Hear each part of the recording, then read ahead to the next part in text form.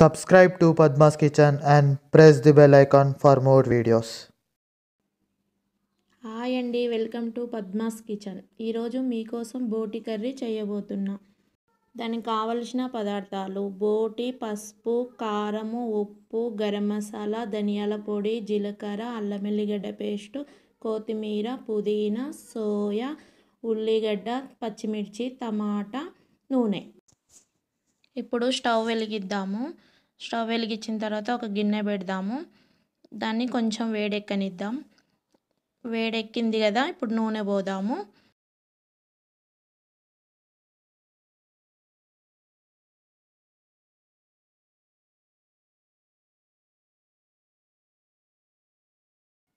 దీంతో కరెక్ట్గా ఐదు పావులు పోసిన.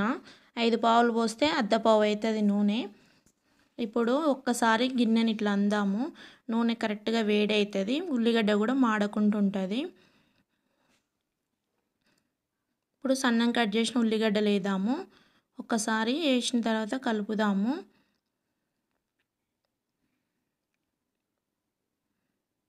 కలిపినాం కదా. ఇప్పుడు చూడండి ఒక్కసారి. లైట్ బ్రౌన్ కలర్ వచ్చింది. చూసిరు కదా మంచిగా నూనె బాగా పట్టింది ఉల్లిగడ్డకు కరెక్ట్గా సరిపోతుంది. ఇప్పుడు అల్లం ఎల్లిగడ్డ పేస్ట్ వేద్దాము. రెండు టీ స్పూన్లు పడుతుంది కేజీ బోటి కాబట్టి. ఒక్కసారి కలుపుదాము.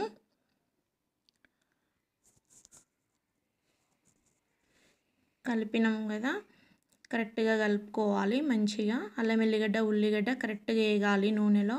స్మెల్ అంతా పోవాలి. ఇప్పుడు మూత పెడదాము. ఒక్క నిమిషం పాటు మూత పెడదాం స్టవ్ సిమ్లో పెడదాము. మళ్ళీ ఒక నిమిషం అయింది కదా మళ్ళీ ఒకసారి కలుపుదాము. మంట సిమ్లో పెట్టే కలుపుకోవాలి. చూసిరు కదా అల్లం ఎల్లిగడ్డ ఉల్లిగడ్డ నూనెలో బ్రౌన్ కలర్ వచ్చేసింది. కరెక్ట్గా వచ్చింది. ఇప్పుడు బోట్ వేద్దాము. బోట్ చెప్పాల్సింది ఏంటంటే బొంత కరెక్ట్గా రాదు కదా. అది కడిగేటప్పుడు వేడి నీళ్ళు చేసి బాగా అందులో ఒక వేసేసి పది నిమిషాలు మూత పెట్టేస్తే కరెక్ట్గా అయిపోతుంది. ఇంత బాగా క్లియర్గా బోటి కడుక్కోవచ్చు. ఇంత ఫ్రెష్గా వచ్చేస్తుంది మనకు. చూసిరు కదా?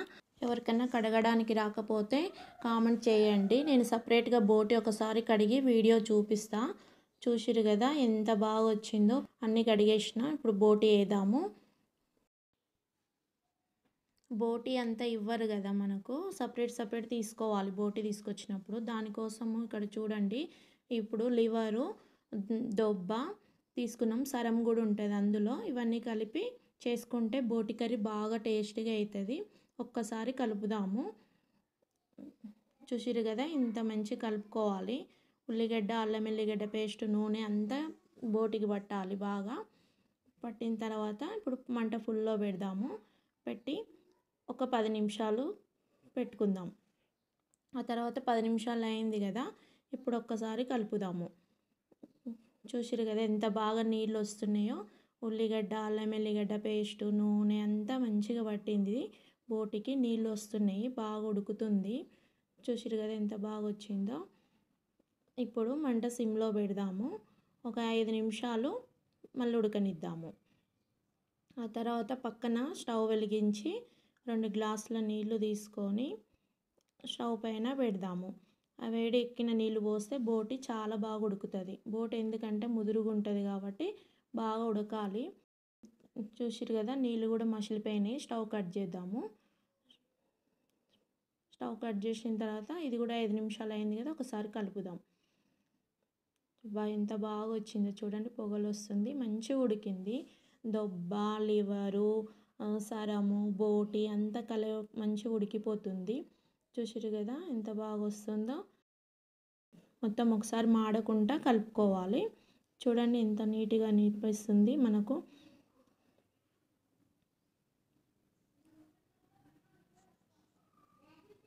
చూసిరు కదా మంచిగా కలిపేసిన.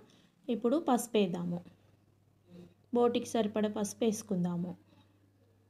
మళ్ళీ ఒక్కసారి మొత్తం కలుపుదాం.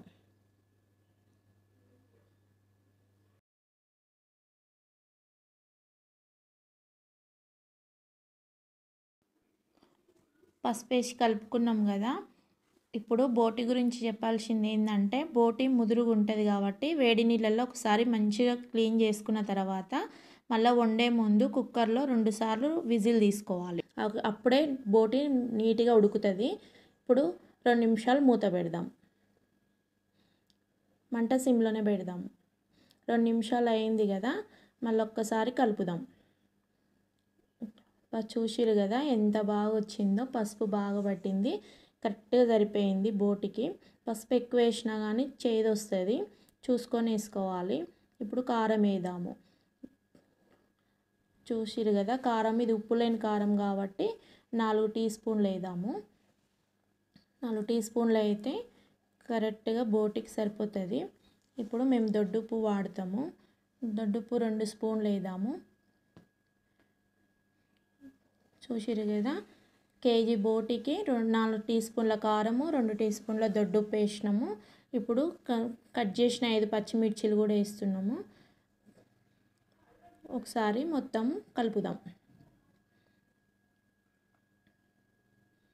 కరెక్ట్గా సరిపోయింది చూసిరు కదా? కారము ఎక్కువ తక్కువ కాకుండా ఉంటుంది. ఉప్పు మాత్రం చూసి వేసుకోవాలి. ఎందుకంటే ఎక్కువ ఉండొచ్చు తక్కువ ఉండొచ్చు. తక్కువ ఉంటే మళ్ళీ వేసుకోవచ్చు. ఇప్పుడు పక్కన వేడి చేసిన నీళ్ళు ఉన్నాయి కదా ఎన్ని పడతాయో చూసి నాకు తెలిసి రెండు గ్లాసులు కరెక్ట్గా పడతాయి కేజీ బోటికి. పోతాము. చూసారు కదా రెండు గ్లాసుల వాటర్ కరెక్ట్గా సరిపోయినాయి. వేడి వాటర్ పోయడం వల్ల తొందరగా బోటి ఉడుకుతుంది. ఇప్పుడు మంట పుల్లో పెడదాము. పుల్లో పెట్టినాం కదా ఒక ఏడు నిమిషాలు మూత పెడదాం. ఏడు నిమిషాలు అయింది కదా మళ్ళీ ఒక్కసారి మూత తీద్దాం. అబ్బబ్బబ్బబ్బా ఎంత బాగా ఉడికిందో చూడండి ఎంత బాగుంది. బా చూస్తుంటే నోరు ఊరిపోతుంది కదా ఎంత కలర్ఫుల్గా వచ్చింది కదా. బోటి కర్రీ ఇట్లా చేస్తే బాగా టేస్ట్ అవుతుంది రైస్లోకి అయితే బాగుంటుంది. రైస్లోకి చపాతీలోకి జొన్న రొట్టెలకి సద్ద రొట్టెలకి అన్నిట్లోకి బాగా తినొచ్చు ఇట్లా కర్రీ వేసుకుంటే ఇప్పుడు సన్నం కట్ చేసిన టమాటా వేద్దాం. ఒక టమాటా వేసుకుంటే బోటి కర్రీ టేస్ట్గా అవుతుంది గ్రేవీగా బాగా వచ్చేస్తుంది. ఐదు నిమిషాలు మూత పెట్టేద్దాం. మంట సిమ్లో పెట్టేద్దాము ఐదు నిమిషాలు అయింది కదా మళ్ళీ ఒక్కసారి కలుపుదాం. అబ్బబ్బబ్బా టమాటా వేసినాక ఎంత కలర్ఫుల్గా వచ్చింది చూసిరు కదా బోటి. చూడండి ఇట్లా మంచి కలుపుకోవాలి ఓపికతో వండుకోవాలి. ఇప్పుడు ఒక టీ స్పూను ధనియాల పొడి వేద్దాము. ధనియాల పొడి వేసినాం కదా ఇప్పుడు one and half teaspoon garam masala వేద్దాము. ధనియాల పొడి గరం మసాలా అన్నీ వేసినాం కాబట్టి ఇప్పుడు జీలకర్ర పొడి వేద్దాం పావు టీ స్పూను ఇప్పుడు ఒకసారి కలుపుదాం. చూసిరు కదా ఇవన్నీ వేయడం వల్ల కొంచెం చిక్కదనం వచ్చేస్తుంది.